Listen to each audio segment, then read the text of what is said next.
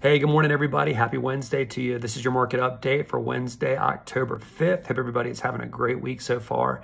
Uh, so, unfortunately, uh, the positive momentum that we have seen the last couple of days in both the stock market and the bond market did not carry over uh, through into today. Um, the Dow is down currently about 350 points. Nasdaq and S&P 500 down as well.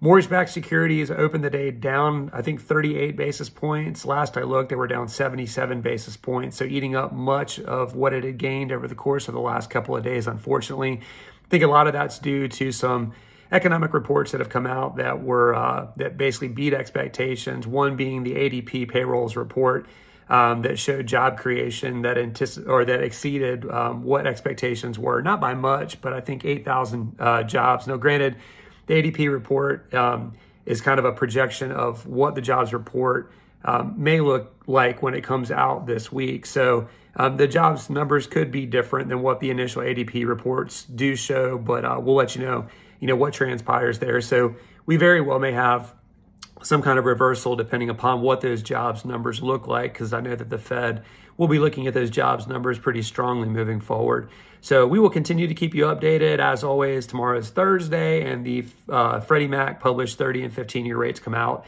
So we'll keep you updated on what those look like so we can compare week over week. Hope everybody has a great day, and I will see you in the morning.